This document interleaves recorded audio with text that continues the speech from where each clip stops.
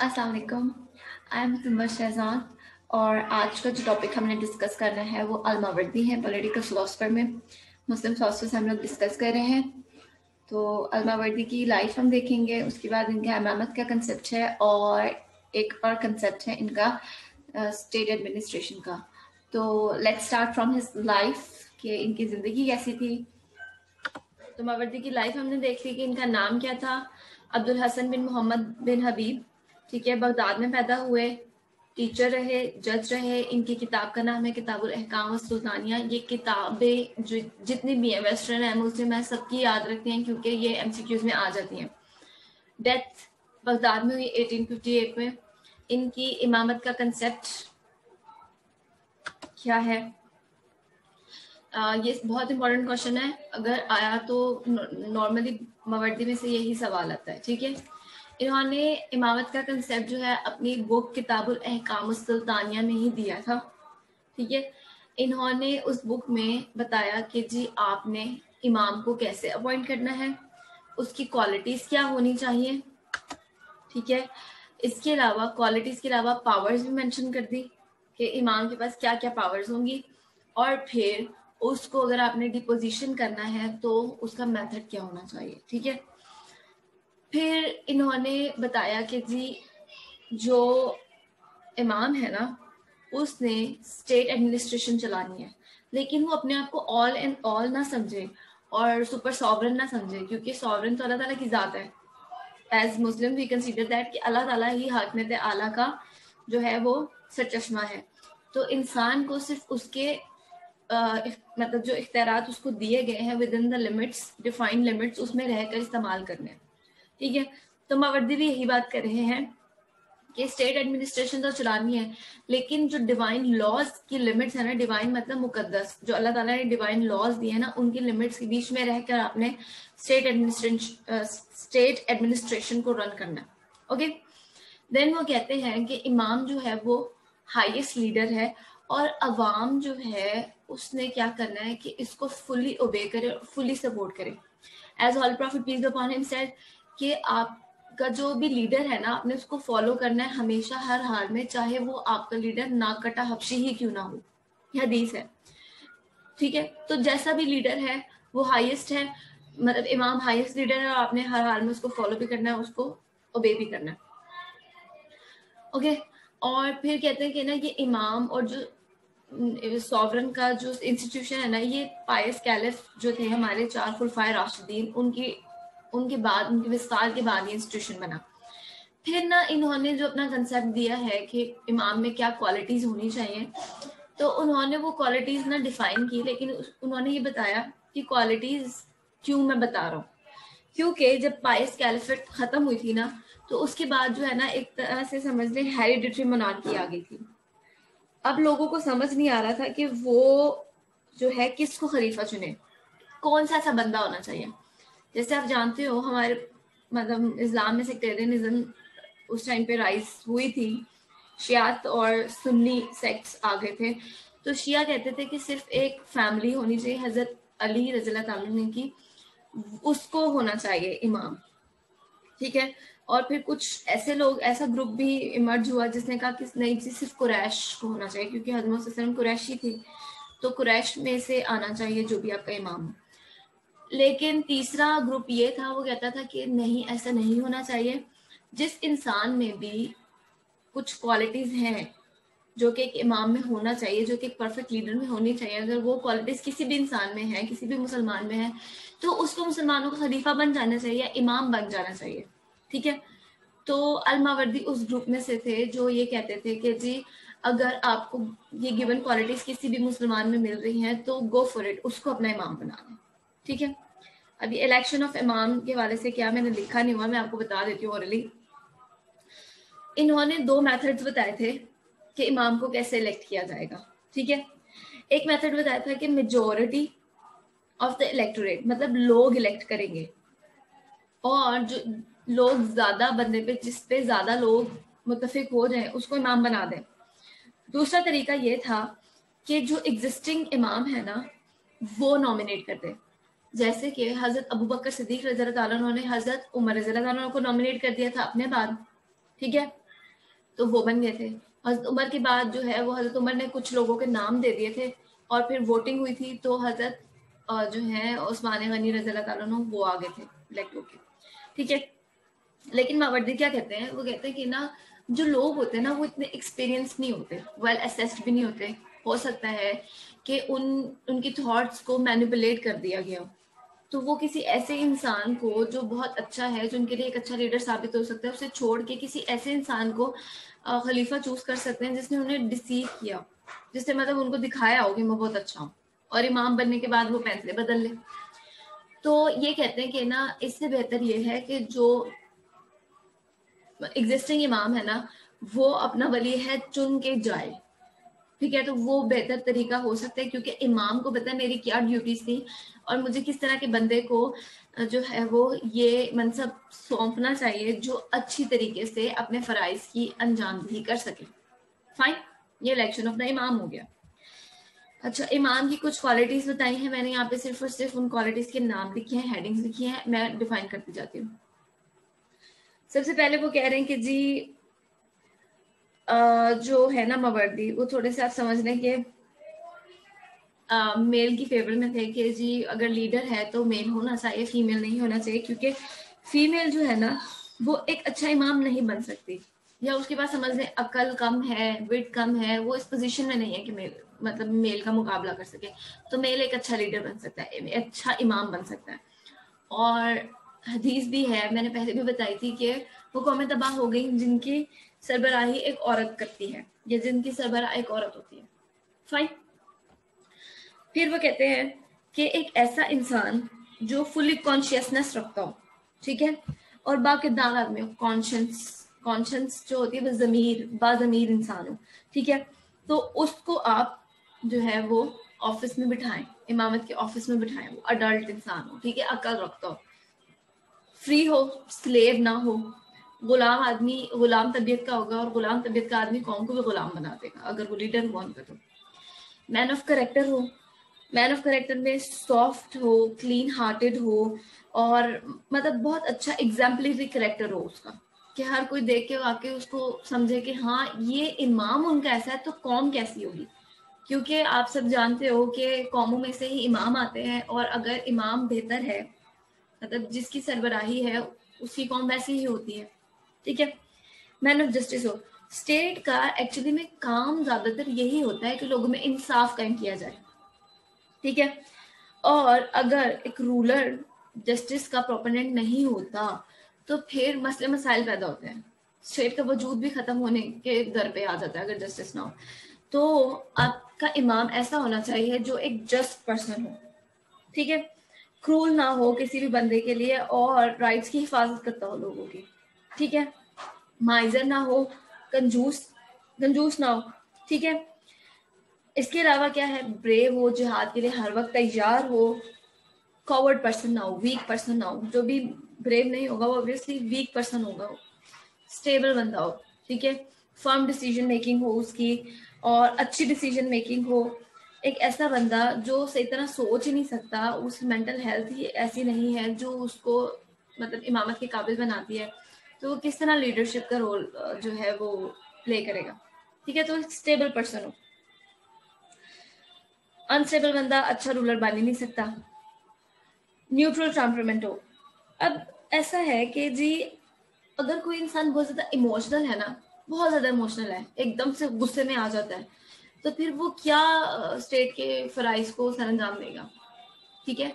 तो ऐसा इंसान जो ठंडे दिमाग का हो अच्छी तरीके से सोच समझ के फैसला कर सकता हो, वो एक अच्छा इमाम बन सकता है। ठीक है न्यूट्रल टेम्परामेंट हो। बहुत जल्दी अग्रेसिव ना हो सके। ठीक है इमोशनल बंदा जो है ना, वो काम खराब कर देता है अपनी इमोशनैलिटी में आके। नेक्स्ट क्या है? डीप साइटेड हो। एक अच्छा रूलर जो है ना, वो ऐसा रूलर होता है कि जो मसले मसाइल की जड़ तक जा सके। ठीक है, और समझ सके कि जी, ये इवेंट हुआ तो ये हुआ क्यों है? ठीक है और जब वो चीज़ों की जड़ तक जा सकता है मसले मसाइल की जड़ तक जा सकता है तो वो उन्हें जड़ से हल भी कर सकता है, ठीक है? तो डीप साइटेड इंसान जो है ना, वो रूट कॉज तक पहुँच के उस इशू को ही खत्म कर देता है। जब वो इस इशू को, जहाँ से वो पैदा हुआ है, खत्म कर देता है तो मामला ज़्यादा एहसन तरीके से हल हो जाते हैं, ठीक है? तो फोर साइटेड और डीप साइटेडनेस लाजमी होनी चाहिए किसी भी लीडर में, ठीक है? Next thing is firm opinion हो। फर्म ओपिनियन का मतलब ऐसा है कि हाँ, कायदे आज़म ने भी कहा था कि आप कोई भी डिसीज़न लेने से पहले कोई भी ओपिनियन कायम करने से पहले सोच लें समझ लें और फिर एक फैसला कर लें और बाद में उस फैसले पर डट जाए फिर चाहे कुछ भी हो जाए। ठीक है? तो बार बार अगर आप अपने फैसले बदलेंगे अपनी ओपिनियन बदलेंगे तो क्या होगा कि आप इम्प्रेसिव रूलर नहीं रहेंगे। ठीक है? या आपकी पर्सनालिटी में एक बहुत बड़ा धब्बा बढ़ जाएगा कि यार इसकी तो ओपिनियन ही चेंज होती रहती है। तो एक इम्प्रेसिव रूलर होने के लिए, ठीक है फर्म ओपिनियन का होना बहुत ज़रूरी है। और एक फर्म ओपिनियन का वाला बंदा वही हो सकता है जो मच्योर थिंकिंग रखता हो, ठीक है? एक इमेच्योर बंदा जो है वो रॉ ओपिनियन रखता होगा और उसकी ओपिनियन थोड़ी थोड़ी देर बाद चेंज होती रहेगी। नेक्स्ट वो कह रहे हैं फिजिकली और सेंशुअली फिट हो। अब देखें, एक इंसान जो फिजिकली फिट ही नहीं है, बीमार रहता है तो उस स्टेट के काम कैसे सर अंजाम देगा? वो तो बिस्तर में पड़ा रहेगा, बेहोश रहेगा या जो भी उसके इश्यूज़ हैं, उनको डील करता रहेगा। ठीक है? सेंशुअली भी वीक होगा तो भी काम खराब करेगा। तो ऐसा इंसान जो फिजिकली और सेंशुअली फिट है, अच्छी मतलब अच्छी कंडीशन में है, बीमार नहीं है तो वो बेटर है रूल करने के लिए। ठीक है? नेक्स्ट क्वालिटी वो बता रहे हैं कि जी मोमिन हो ओबीडियंट ऑफ़ शरा हो। ठीक है शरिया के मुताबिक आपने मुसलमानों को रूल करना है। तो आप एक अच्छे मुसलमान होंगे तो ही तो आप ये काम कर सकते हैं। फाइन नेक्स्ट आलिम हो और फकी हो। मतलब कि शरिया का इलम रखता हो, फिके का इलम रखता हो। ओके तो जब आपको इस्लाम की अच्छी खासी नॉलेज होगी तो आप एक इफ़ेक्टिव इमाम होंगे ट्रू इमाम होंगे। ठीक है? और फिर आपने इस्लाम भी तो प्रीच करना है, जो भी इमाम है, उसने अपने मज़हब को भी तो फैलाना है। तो अगर आप इग्नोरेंट हैं, आपको पता ही नहीं आपका इस्लाम क्या कह रहा है तो आप कैसे लोगों को जो है लीड कैसे करोगे? ठीक है? लास्ट जो है प्रॉपर्टी ये कि लाइक बाय मेजोरिटी ज़्यादा लोग उस पर मुतफिक हो जाए। लोग अगर किसी को पसंद करेंगे तो ही तो ओबे करेंगे। अगर कोई इन पे मुसलत कर दिया जाए और वो उनको पसंद ही नहीं है तो वो तो बगावत भी उतरेंगे ठीक है? तो गवर्नमेंट एग्जिस्ट नहीं करेगी। तो ये कुछ क्वालिटीज हैं इमाम की, जो कि मवर्दी ने दी है, इससे पहले हमने गजाली का कंसेप्ट पढ़ा था तो वो भी कुछ याद होगा आपको तो ये मिक्सअप हो जाते हैं, लेकिन आपने इनको याद रखने, कुछ मेजर मेजर पॉइंट्स दोनों में से निकालने पेपर के टाइम जो है ना, वो मेजर पॉइंट्स लिख दीजिएगा तो आपका पेपर हो जाएगा मतलब मार्क्स नहीं काटेगा वो आपके। फाइन नेक्स्ट है स्टेट एडमिनिस्ट्रेशन ये एक इंपॉर्टेंट क्वेश्चन है ये पास पेपर में एक दफ़ा आया हुआ है, लेकिन 2016 से पहले तो मैंने फिर भी ये ले लिया कि जी इट्स गुड कि आपको सेफ़ साइड पे रखा जाए। अगर ये अब आ गया तो फिर। अच्छा जी स्टेट एडमिनिस्ट्रेशन स्टेट एडमिनिस्ट्रेशन के हवाले से उन्होंने कहा कि जी गवर्नमेंट अगर आपने चलानी है ना, और आप एक अच्छी गवर्नमेंट बनाना चाहते हो तो अच्छी एडमिनिस्ट्रेशन होनी चाहिए। अच्छी तरीके से इंतजामिया का काम चल रहा होगा तो मुल्क खुशहाल होगा। सही? तो उन्होंने कुछ सर्टन ब्रांचेस बता देंगे। एक स्टेट के अंदर ये कुछ ब्रांचेस होनी चाहिए in the light of holy Quran जिससे क्या होगा कि स्टेट का काम ज़्यादा एफिशिएंटली चल सकेगा। तो उन्होंने ये पाँच ब्रांचेस बताई थी, जो मैं आपको बताने लगी हूँ। पहला, वजारत। दूसरा जुडिशरी तीसरा, दीवान या डिपार्टमेंट्स चौथा सिपा सलार और पांचवा मुहतसद ठीक है? और इमामत का कंसेप्ट तो मैं आपको बता दी चुकी मतलब वो, समझ वो प्रेसिडेंट होगा एक तरह से। इमाम स्टेट का। मिनिस्ट्रीज पे आ जाए मिनिस्ट्रीज पे आ जाए तो हमारे पास क्या है? इन्होंने कहा है कि जो इमाम है ना वो ऑल इन ऑल तो नहीं है वो खुद से तो सब कुछ नहीं कर सकता। ठीक है? सारा कुछ खुद से नहीं संभाल सकता उसको कुछ ऐसे लोगों की ज़रूरत है या ऐसे इंसान की ज़रूरत है जो उसका मुशीर खास हो जो उसको मशवरे दे काम में करे।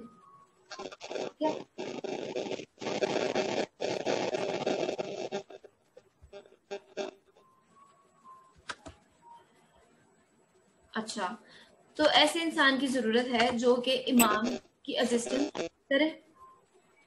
और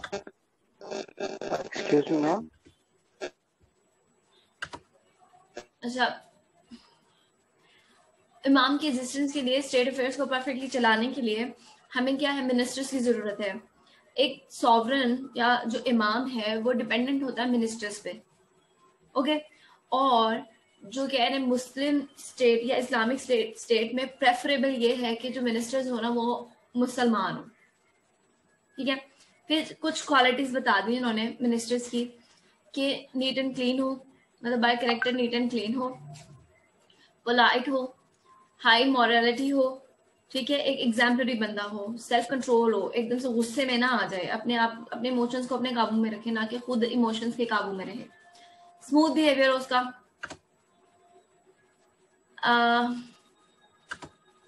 आरिफ मावर्दी पढ़ा रही हूँ, ठीक है? हमने इमामत का कंसेप्ट कर लिया है और अब हम स्टेट एडमिनिस्ट्रेशन का कंसेप्ट कर रहे हैं। कोई बात नहीं, आप लेट है, मैं लेक्चर रिकॉर्ड कर रही हूँ, मैं भेज दूँगी। ठीक है? तो मिनिस्टर्स के वाले से बात की है, उन्होंने होशियार हो, क्योंकि स्टेट एडमिनिस्ट्रेशन को चलाना कोई मज़ाक तो नहीं है। क्लेवर हो सोशल हो, लोगों में उठ बैठ सकता हो, लोग उसको अपने मसले बता सकें उससे खौफ ना खाते हों, ठीक है? तो एक अच्छा इंसान हो सोशल हो। फिर फॉन्ड ऑफ़ स्टडी हो मतलब पढ़ने मतलब ऑब्वियसली पढ़ने का शौकीन हो, अगर वो किताबें पढ़ता होगा तो मच्योर अप्रोच रखता होगा मच्योर ओपिनियन रखता होगा, ठीक है? सीक्रेट कीपर हो। उसे पता हो कि मुल्क के और जो बादशाह है, ये इमाम है उसकी सीक्रेट्स को अपने पास रखना है, क्योंकि नॉर्मली मुल्क की जो इंफॉर्मेशन होती है, वो इतनी ज़्यादा समझ लें कि फ्रैजल या डेलीकेट होती है कि अगर आप बाहर उसको निकाल दो मुल्क को नुकसान हो सकता है। कहते हैं टॉप सीक्रेट वो चीज़ है। डीप साइटेड हो अगेन मिनिस्टर के लिए ज़रूरी है कि डीप साइटेड हो पेशेंट हो सबर रखता हो मैग्नेटिज्म इन स्टॉक्स कि जब वो बात करे तो लोग लोग जो है वो इम्प्रेस इम्प्रेस हो जाए उससे कि वाह कितना अच्छा हमारा लीडर है। और जब ना मैग्नेटिज्म इन टॉक होती है ना तो लोग वाकई बहुत ज़्यादा फॉलो करते हैं। लोग दीवाना वार जैसे आप एक्टर्स वगैरह के फ़ैन हो जाते हैं ना तो पॉलिटिशियंस के भी फ़ैन हो जाते हैं लोग अच्छा फिर दो तरह के टाइप्स ऑफ़ मिनिस्टर्स लिखना था। दो तरह के मिनिस्टर्स हैं। एक तो है डेलीगेशन ठीक है मिनिस्टर डेलीगेशन दूसरा है मिनिस्टर एग्जीक्यूशन उर्दू में अगर मावर्दी ने जो टर्म यूज़ की थी, वो वज़ीर तफवीज़ है और दूसरा वज़ीर तनकीद है. ठीक है, तफवीज वज़ीर कौन है और तनकीद वज़ीर कौन है, हम आगे देखते हैं. सबसे पहले जी मिनिस्टर डेलीगेशन इसके वाले से वो क्या बात करें? कि ये एक इंसान है मिनिस्टर डेलीगेशन एक बंदा है. जो कि एक्सपर्ट होगा टैक्स कलेक्शन डिफेंस अफेयर और ट्रेजरी में। इसको इन तीन चीज़ों में मतलब एक्सपर्ट होना लाजमी है। ठीक है? फकी हो, इस्लाम का बहुत अच्छा नॉलेज रखता हो और फिकर भी मतलब फिकर इन सेंस के मसले मसाइल पे वो गौर फ़िक्र करता हो। ठीक है? कि इनको सॉल्व कैसे किया जा सकता है? फिर ऐसा इंसान जो गौर फ़िक्र करता हो ना, एक ऐसी स्टेट पॉलिसी बनाएगा जिसमें उसने सारे एस्पेक्ट्स को कंसीडर किया होगा। कहाँ से नुकसान हो सकता है, कहाँ से फ़ायदा हो सकता है। तो ये चीज़ जो है ना, उसको पॉलिसी मेकिंग में बहुत ज़्यादा हेल्प करेगी और डिसीज़न मेकिंग में भी बहुत ज़्यादा हेल्प करेगी। ठीक है? अच्छा अब मवर्दी यहाँ पर कह रहे हैं कि ये जो है ना मतलब मवर्दी का हमने जब ये ऑफ़िस पढ़ा तो हमें लगा कि ये प्राइम मिनिस्टर वाली पोस्ट है मिनिस्टर डेलीगेशन क्योंकि ये इमाम से बस एग्जैक्ट नीचे वाला पोस्ट है और इसने सारे काम देखने होते हैं। Tax collection defence affair treasury सब कुछ देख रहा है कि स्टेट में एडमिनिस्ट्रेशन कैसे चल रही है। ठीक है? जितने भी मतलब स्टेट में जो भी अफेयर्स चल रहे हैं, उसको ये देख रहा है और इसके पास बहुत ज़्यादा अख्तियार होते हैं फुल ऑफ़ पावर्स होते हैं। लेकिन सारी पावर्स इसके हाथ में नहीं होती। कुछ पावर्स इमाम के पास भी हैं। ठीक है? सिर्फ़ इमाम इससे ऊपर है, बाकी सब इससे नीचे। अल्टीमेट पावर जो है मिनिस्टर के पास है डेलीगेशन मिनिस्टर के पास है, लेकिन कुछ पावर्स इमाम के पास है। वो डिस्क्रिप्शनरी पावर्स क्या है इमाम की? कि इमाम जो है, वो डेलीगेशन मिनिस्टर और कैलिफ दोनों को रिमूव कर सकता है। ठीक कैलिफ गवर्नर्स की बात करें। ऑफ़िस से इनको रिमूव कर सकता है, लेकिन डेलीगेशन मिनिस्टर ऐसे नहीं कर सकता, किसी कैलिफ को वो रिमूव नहीं कर सकता। और इमाम जो है, जैसे हमने पहले बताया कि अपने सक्सेसर को चुन सकता है इमाम, लेकिन डेलीगेशन मिनिस्टर अपने सक्सेसर को नहीं चुन सकता, क्योंकि उसको खुद जो सॉवरन है या इमाम है, उसने चूज़ किया है तो वो क्या किसी को चूज़ करेगा? सही। नेक्स्ट क्या है? यूजुअली इमाम जो है ना, इसको मशवरे देते हैं। डेलीगेशन मिनिस्टर को कैसे कर ले, ऐसे कर ले गाइडेंस रहनुमाई वगैरह इमाम देता है। लेकिन जब ये काम कर रहा होता है डेलीगेशन मिनिस्टर तो इमाम इंटरफेयर नहीं करता। फाइन लेकिन इमाम को कॉन्फिडेंस में लेके सारे काम करता है खुद से कुछ नहीं कर रहा होता। कॉन्फिडेंस में लेता ज़रूर है इमाम को। कोऑर्डिनेशन से चल रहे होते वरना स्टेट का काम खराब हो जाएगा। अच्छा powers of delegation minister powers क्या दिए डेलीगेशन मिनिस्टर को? डेलीगेशन का मिनिस्टर का सबसे अल्टीमेट काम ये है कि उसने स्टेट पॉलिसी बनानी है। ठीक है? किस इदारे में कैसे चलना है आ, कितने टैक्स होने चाहिए कितना रेवेन्यू कलेक्ट होना चाहिए किधर किधर टैक्स इम्पोज किया जाए वो सारी बातें। ठीक है? लेकिन इमाम के खबर में मतलब इमाम बाखबर होता है उस सारे फैसलों से या सारी पॉलिसी से, इमाम को बता रहा होता है जस्ट लाइक हमारे प्रेसिडेंट को पता है प्राइम मिनिस्टर क्या काम करें एंड इट्स ओके ठीक है? लेकिन वो कह रहे हैं कि जी, आप जो भी पॉलिसी बना रहे हैं, जो कुछ भी कर रहे हैं, वो शरिया के असूलों की पाबंदी करें। अदरवाइज़ जो भी आप काम कर रहे हैं, वो फिर ना, अगर आप शरिया को फॉलो नहीं करें तो अल्लाह को नाराज़ करें, और अल्लाह को नाराज़ करें तो फिर आपकी स्टेट हैप्पी तो नहीं रहेगी। ओके. अच्छा ये डेलीगेशन मिनिस्टर ऑफिशियल्स की भी अपॉइंटमेंट करता है, जैसे कि जजेस या काजी, उन सब के अपॉइंटमेंट्स डेलीगेशन मिनिस्टर का रहा है। और स्टेट की प्रोटेक्शन और दीन की प्रोटेक्शन दोनों का काम ये कर रहे हैं, क्योंकि नॉर्मली क्या है, फौज इनके अंडर आ रही है अकॉर्डिंग टू मवर्दी फाइन अच्छा फिर तीसरा काम सॉरी चौथा काम इनका क्या है, कि जो भी क्रूल एक्टिविटीज़ हैं, ठीक है उनको ये देख रहे हैं, उनकी तलाशी वगैरह इन्होंने देखनी है। मतलब कोई भी काम हुआ है, जुल्म हो गया किसी पे तो इन्वेस्टिगेशन ये ऑर्डर करेंगे। फिर पनिशमेंट उसको मिल रही है, ये भी ये देखेंगे कि पनिशमेंट मिल रही है या नहीं। और ऐसी अथॉरिटीज को अपॉइंट करेंगे जो कि इन क्रूअल एक्ट्स के साथ और इन क्रिमिनल्स के साथ डील करेगी। जैसे हमने कहा जजेस को ये अपॉइंट करें फाइन और ऑम्बर्ड्समैन और पुलिस वगैरह को भी ये अपॉइंट करेंगे, ताकि लॉ एंड ऑर्डर की सिचुएशन मेंटेन रहे। और नीचे उन्होंने फिर अगेन बात कर दी कि स्टेट में लॉ एंड ऑर्डर की सिचुएशन को मेंटेन करना भी इनके ही काम में आता है। प्राइम मिनिस्टर समझ लिया देन आगे हमारे पास मिनिस्टर एग्जीक्यूशन दूसरा टाइप है। अब ये थोड़ा सा डिफरेंट है। अब ये क्या है भी समझाती हूँ तो समझ आ जाएगा। इनकी पावर और पोजीशन इतनी ज़्यादा इंपॉर्टेंट नहीं है, जैसी डेलीगेशन मिनिस्टर की ठीक है? अब ये क्या है? ये डेलीगेशन मिनिस्टर के अंडर आते हैं मिनिस्टर्स और ये काफ़ी ज़्यादा तादाद में हो सकते हैं। वेरियस वेरियस डिपार्टमेंट के मिनिस्टर्स हो सकते हैं। तो आपको लगता नहीं है ये जो मिनिस्टर की प्राइम मिनिस्टर की कैबिनेट होती है ये उस तरह के बंदे होते हैं? ठीक है? इनका बस काम क्या है? जो पॉलिसी लेजिस्लेचर ने बना दी है ना उसको एग्जीक्यूट करना है। फाइन अच्छा आ, इनका रोल क्या है कि जी गवर्नमेंट जो बन गई है, उसको एडवाइस करना और वाइटल इंफॉर्मेशन प्रोवाइड करना, उसको। फाइन ये ये भी काम देखते हैं कि जी स्टेट में एक्सपेंडिचर कितना हो रहा है डिफरेंट डिफरेंट गवर्नमेंट डिपार्टमेंट्स में, ठीक है? और फिर उनको पैसा भी है फंड्स ये प्रोवाइड करते हैं। बजट मेकिंग वगैरह का काम इनके जिम्मे आ गया।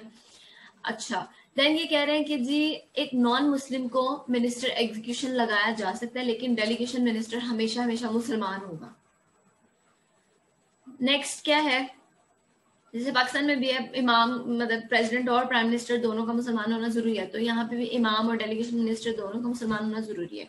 लेकिन उसके अंडर नॉन मुस्लिम आ सकते हैं, क्योंकि उनका काम तो सिर्फ़ एग्जीक्यूशन है ना पॉलिसी तो पर बन फाइन अच्छा ये जो मिनिस्टर्स है ना ये स्टेट पॉलिसी में पॉलिसी मेकिंग या स्टेट अफेयर्स में इंटरफेयर नहीं करते। और कुछ स्पेशल काम है जिनमें ये बिल्कुल भी इंटरफेयर नहीं कर सकते जैसे कि अपॉइंटमेंट ऑफ़ गवर्नर्स ठीक है और मिलिट्री एक्सपीडिशन मिलिट्री ने किधर जाना है किधर जाके कोई ऑपरेशन करना है तो ये नहीं बीच में बोल सकते। इनका कोई इख्तियार नहीं है। ओके okay, ये जो है जो कंसेप्ट दिया है एग्जीक्यूशन मिनिस्टर का मवर्दी ने ये तकरीबन पार्लियामेंट्री कैबिनेट के हिसाब से मतलब ऐसा ही कंसेप्ट है, जैसे मैंने पहले आपको बताया कि ये कैबिनेट का कंसेप्ट है जैसे। देन इमाम जो है ना, वो अपॉइंट करता है एग्जीक्यूशन मिनिस्टर को। ठीक है different different departments excuse me जो इमाम है, वो एग्जीक्यूशन मिनिस्टर्स को अपॉइंट कर रहा है, ताकि वेरियस डिपार्टमेंट का काम एफिशिएंटली चल सके। अगर कोई एग्जीक्यूशन मिनिस्टर अपनी जो ऑफ़िस से रिजाइन करता है तो बाकी सारे जो है ना एग्जीक्यूशन मिनिस्टर जो है, बाकी सारे, वो अपना काम करते रहेंगे। फाइन लेकिन अगर डेलीगेशन मिनिस्टर रिजाइन कर देता है तो फिर सारी की सारी जो एग्जीक्यूशन मिनिस्टर्स की टीम है, वो सब की सब रिमूव समझी जाएगी। क्योंकि वो डेलीगेशन मिनिस्टर के नीचे काम कर रहे थे, और जब डेलीगेशन मिनिस्टर ने ही रिजाइन कर दिया तो सबके सब फारिग। अब नया आएगा डेलीगेशन मिनिस्टर तो नए आएगा एग्जीक्यूशन मिनिस्टर तो वही बात होगी प्राइम मिनिस्टर जब रिजाइन करता है तो पूरी की पूरी कैबिनेट खत्म हो जाती है और फिर नए इलेक्शन होते हैं। सही? लेकिन अगर बीच में से कोई फवाद चौधरी रिजाइन कर दे या फिर हमारी और कोई मिनिस्टर हो सकता है तो वो रिजाइन कर दे। जैसे कि ये कौन है? परवेज शेख रशीद सॉरी ये अगर रिजाइन कर दे तो फिर ऐसा तो नहीं है ना कि पूरी की पूरी कैबिनेट खत्म हो जाएगी। नेक्स्ट हमारे पास क्या है? जुडिशरी जुडिशरी में हमारे पास क्या चीज़ें हैं कि ये पहले तो उन्होंने समझ लें कि प्रेसिडेंट का कंसेप्ट दिया, फिर प्राइम मिनिस्टर का कंसेप्ट दिया, अब ये जुडिशरी का कंसेप्ट दे रहे हैं। या पहले इन्होंने एग्जेक्टिव का कंसेप्ट दे दिया, फिर लेजिस्लेचर का और अब जुडिशरी का कंसेप्ट दे रहे हैं। कह रहे हैं कि कजा वाली ब्रांच है मतलब काजी है, बहुत ज़्यादा इंपॉर्टेंट है। सक्सेसफुल स्टेट की बुनियाद ही ये है कि जस्टिस मिल रहा हो उनको। ओके तो अगर एक इंसान ने जस्टिस को मेंटेन करना है तो ये एक आसान काम तो है नहीं। बहुत सारे लोगों को आँखें दिखानी पड़ती हैं। बहुत सारे मुजरिमों को बहुत ज़्यादा जो है वो खतरनाक खतरनाक लोगों से निपटना पड़ता है। तो वो कहते हैं कि ना, ये एक आसान काम नहीं है। तो आपने सर्टन क्वालिटीज और सर्टन फैक्टर्स को जो है अपने सामने रखना है और फिर जज को अपॉइंट करना है। सही? और वो कहते हैं कि आसान काम तो है नहीं तो आपने क्या करना है? एक टेस्ट कंडक्ट करो। जिसमें जो टैलेंटेड लोग हैं ना, शहर के या मुल्क के, वो सब टेस्ट में अपेयर होंगे। फिर उनमें से जो लोग पास आउट करते हैं उस टेस्ट को, फिर उनको आप लगा सकते हो या उनका इंटरव्यू लो। फिर जो मेरिट पे आते हैं, उनको आप जज बना दो। ठीक है? फिर वो कहते हैं कि ना, आपने ना इमाम ने या मिनिस्टर्स ने इंटरफेरेंस नहीं करनी। इनके कामों में बार बार इनको ना रिमूव करें, ना ट्रांसफ़र करें। क्योंकि एक रिस्पेक्टेड ऑफ़िस है और अगर ये बार बार रिमूव हो रहे होंगे या सीट से हटाए जा रहे होंगे या ट्रांसफ़र की जा रही होगी तो क्या होगा? इनके ऊपर एक प्रेशर आ जाएगा, एक फियर आ जाएगा तो ये इम्पार्शल डिसीज़न मेकिंग नहीं करेंगे। ठीक है? तो इन्हें सिक्योरिटी ऑफ़ द ऑफ़िस दें, ताकि ये प्रेशर और फेयर से आज़ाद होकर काम कर सके और आपका मुल्क खुशहाल हो। ठीक है? जज की क्वालिटी क्या बताई इन्होंने? कह रहे हैं कि क्लेवर बंदा हो इंटेलिजेंट बंदा हो, और वो भी एक डीप साइटेडनेस रखता हो। ग्रास रूट तक जा सके इश्यूज़ की और वहाँ जाके उसको सॉल्व कर सके। ठीक है? नॉर्मली ये इस हक में थे कि जी मेल्स जो हैं वो ही जज बन सकते हैं, लेकिन इमाम अबू हनीफा का जो सेक्ट है ना, वो कहता है कि जी आप एक औरत को अगर उसके पास वो क्वालिटीज हैं कि वो जज बन सकती है तो आप उसे अपॉइंट कर दे एज अ जज इमाम अबू हनीफा वाला फिक्का कहता है। स्लेव ना हो, आज़ाद आदमी हो या आज़ाद औरत हो, जो भी जज बन रही है या बन रहा है, ऐसे इंसान को जो भी काजी बन रहा है, वो ऑब्वियसली मुसलमान होना चाहिए, उसे शरिया का इलम हो, फ़िके का इलम हो, हदीस का इलम हो, ठीक है? तो उसे मुस्लिम होना लाजमी है, आलिम दीन हो वो लाजमी तौर पर, क्योंकि उसने फैसले तो ऐसे ही करने हैं ना, अल्लाह ताला की रजा को सामने रखते हुए। लेकिन वो कह रहे हैं कि अगर अगर कोई ऐसा मसला आ, आते हैं जिसमें शरीय इन्वॉल्व नहीं है तो उन केसेस में आप किसी नॉन मुस्लिम को भी जज बना सकते हो। लेकिन ये केस इमाम अबू हनीफा वाले फिके ने प्रेजेंट किया ठीक है? अच्छा फिर वो कह रहे हैं कि ऑनेस्ट बंदा हो और टेम्परेट बंदा हो। ऑनेस्ट एज यू नो कि रिश्वत ना लेता हो और सिफारिश पे काम ना करता हो कोई नेपोटिज्म वगैरह के ऊपर ना जाता हो डिसीज़न मेकिंग करते हुए। टेम्परेट बंदा ऐसा कि ज़्यादा जल्दी गुस्से में ना होता इमोशनल ना हो, सोच समझ के डिसीज़न मेकिंग करे, क्योंकि वाकई ही इसका कलम लोगों की तकदीरों के फैसले करेगा। ठीक है? एज आई सेड कि मुसलमान हो तो हॉली कुरान हदीत और फिका उसको रटा हुआ, उसको पता हो, सारी इंफॉर्मेशन हो इसके बारे से। फिर वो हेल्दी पर्सन हो, एक हेल्दी इंसान हो, उसकी परफेक्ट हेयरिंग और परफेक्ट सीइंग कैपेबिलिटीज हो तो वो फिर अच्छे फैसले कर सकता है। सही? जुडिशरी के क्या फ़ंक्शन है? यहाँ मैंने डिटेल में लिखी है कि मैं डिटेल बताऊँगी आपको। जुडिशरी के जो कुछ फ़ंक्शन है, उसमें लोगों के राइट्स जो है, उनको सिक्योर करना है। क्योंकि जी लोगों के राइट्स जो है, अगर वो उनको नहीं मिल रहे तो वो ना इंसाफी होगी, लोगों इक्वालिटी नहीं है। फिर स्टेट में अगर उनको उनके राइट्स नहीं मिल रहे, और ह्यूमन राइट्स की वोलेशन यूजुअली स्टेट के कलेप्स तक भी चली जाती है। ठीक है? तो ये तमाम लोगों के राइट्स की हिफाजत करेंगे। सुपरविजन ऑफ़ औकाफ तो औकाफ वो चीज़ें होती हैं या वो प्रॉपर्टीज़ होती हैं जो लोगों ने मस्जिदों के लिए, मदरसों के लिए या दीनी कामों के लिए वक्फ कर दी होती है। ठीक है? औकाफ इज़ फ्रॉम वक्फ। तो उनकी सुपरविजन भी जुडिशरी के अंडर आती है कि जुडिशरी देखे कि जिस काम के लिए वक्फ की गई है, उसी जगह तो हो रहा है ना उसका काम। या ऐसा तो नहीं है कि गवर्नमेंट के पर्सनल्स हैं जो अपने लिए उसको इस्तेमाल कर रहे हैं। ठीक है? फिर ऐसे लोग मतलब ऐसे बच्चे जिनके पेरेंट्स नहीं हैं, या जिनके गार्डियंस नहीं हैं, या ऐसे लोग जो मेंटली अनहेल्दी हैं, पागल हैं तो उनकी भी तो कुछ प्रॉपर्टीज़ होती हैं। अब देखें, जिस बच्चे का गार्डियन नहीं है कोई भी, या पेरेंट्स की डेथ हो गई है, या वो इंसान जो सही से सोच नहीं सकता, वो मेंटली इल है तो वो अपनी प्रॉपर्टी की क्या हिफाजत करेगा, अगर उसके पास ज़मीन जायदाद है? तो यूजली रिश्तेदार या आसपास के लोग चाहेंगे कि उसकी प्रॉपर्टी को जब्त कर लें। तो जुडिशरी पे ये ज़िम्मेदारी आयद की गई है कि वो इन लोगों की प्रॉपर्टीज़ का ख्याल रखे। और जैसे कि बच्चे जब बड़े हो गए हैं तो उनकी प्रॉपर्टीज़ को उनको अलॉट कर दिया जाए, या मेंटल्स जब रिकवर हो गए हैं, या उनकी औलाद है कोई तो उनको प्रॉपर्टीज़ दे दें। फाइन विडोज की मैरिज करवाना जुडिशरी का काम है। अगर कोई बेवा है, उसके पास इतने पैसे नहीं है, वो शादी कर सके तो जुडिशरी फिर बीच में पड़ेगी और शादी करवाएगी। ठीक है? आसानी पैदा करनी है इसमें निकाह के लिए उनके। वसीयत की एग्जीक्यूशन कोई इंसान अगर जिसकी डेथ हो गई है वसीयत लिखना, अल्लाह ताला ने मतलब कुरान पाक में, सूरह निसा में सारा जो वसीयत का सीन है ना, जो एक मुसलमान की वसीयत हो सकती है, वो सारा बता दिया। है सूर्य निस्सा ये मेरे ख्याल से।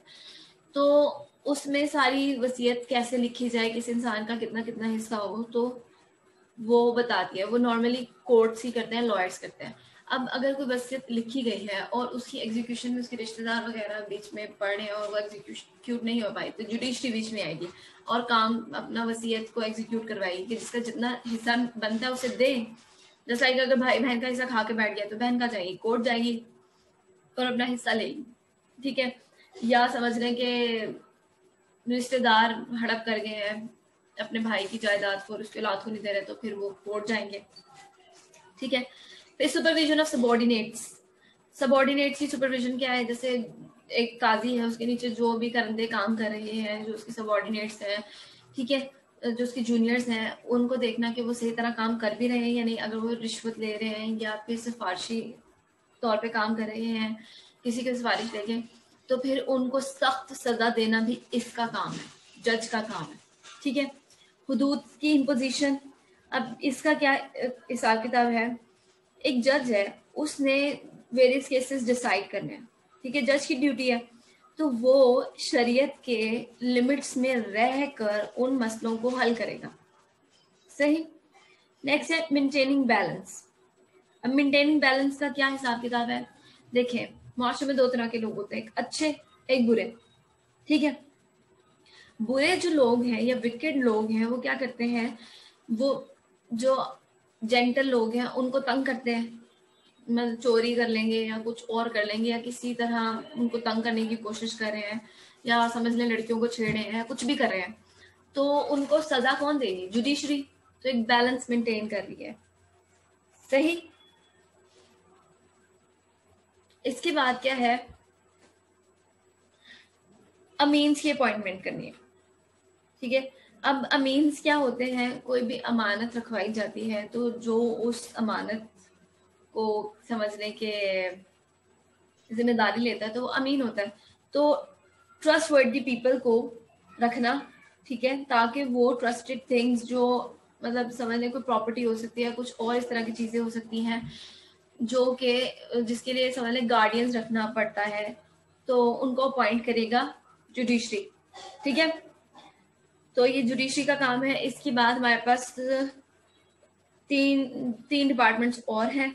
वो हम आते हैं अब इसके बाद, क्योंकि एक मिनट का टाइम रह गया सिर्फ़ तो kindly join the meeting again okay next जो है, इन्होंने एडमिनिस्ट्रेशन के लिए बताया कि जी डिपार्टमेंट्स होने चाहिए स्टेट में।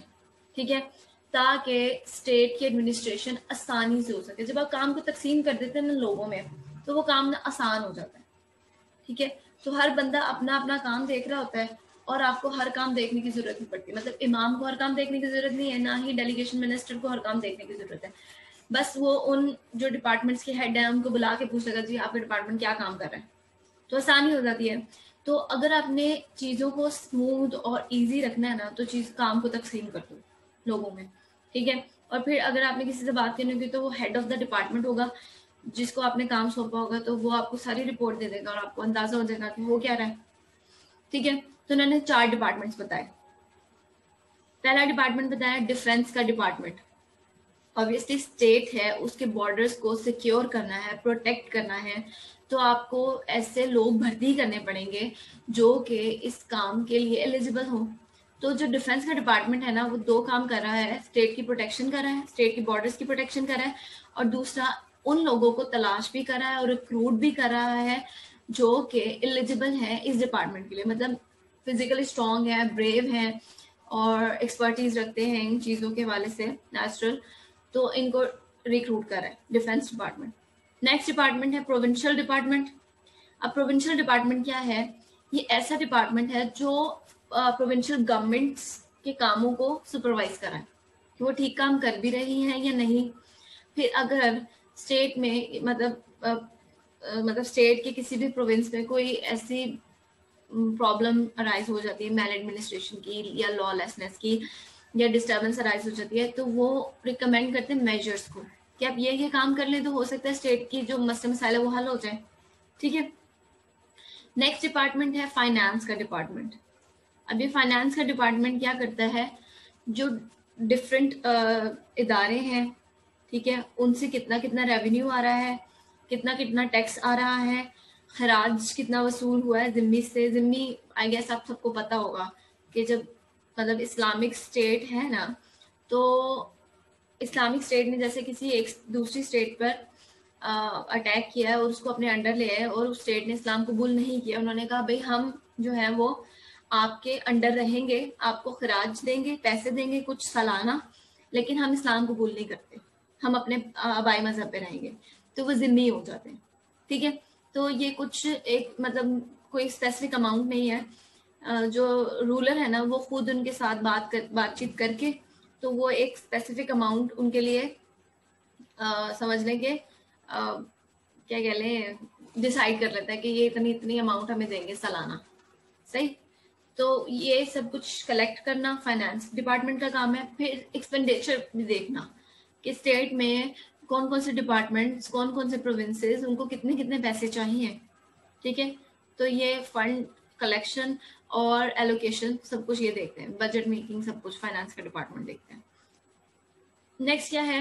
रिक्रूटमेंट और इस्टेब्लिशमेंट डिपार्टमेंट अब ये रिक्रूटमेंट और इस्टेब्लिशमेंट डिपार्टमेंट ये क्या है?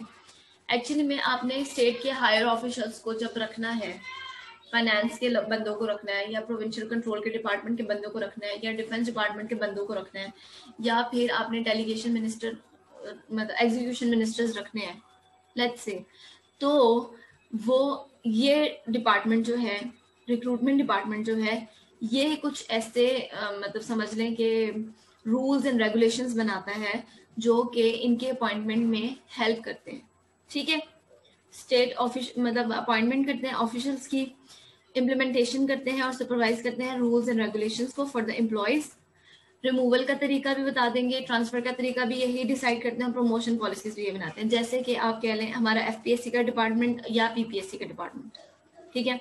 जितने भी प्रोविंसेस हैं, उनके अपने अपने डिपार्टमेंट्स हैं और एफपीएससी फेडरल का डिपार्टमेंट तो फेडरल की जितनी भी ऑफिशियल अपॉइंटमेंट होती हैं, वो एफपीएससी करती है और प्रोविंसेस की जितनी भी डिपार्टमेंट होती हैं तो वो प्रोविंसेस की पब्लिक सर्विस कमीशन करती हैं, ठीक है?